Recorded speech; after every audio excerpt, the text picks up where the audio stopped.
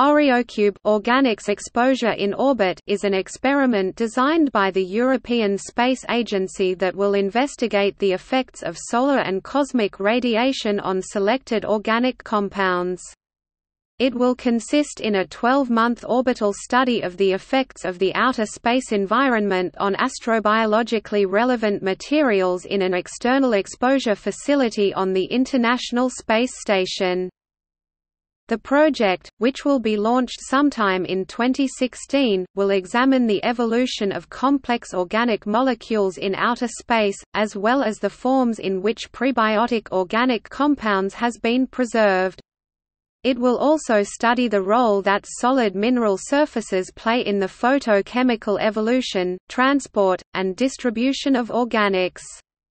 The principal in investigator is Pascal Ehrenfreund.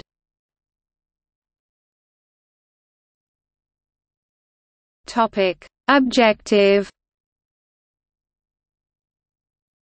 The objective of OreoCube is to investigate the influence of mineralogically relevant inorganic materials on the stability, modification, and degradation of the organic molecules during long-duration radiation exposure on the International Space Station ISS. .Organic compounds, thought to be the starting material for prebiotic chemistry, could have partly had an extraterrestrial origin.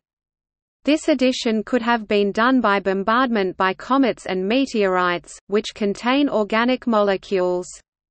See also, pseudo-panspermia.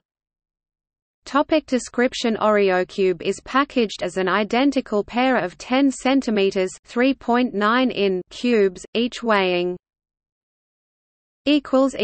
See also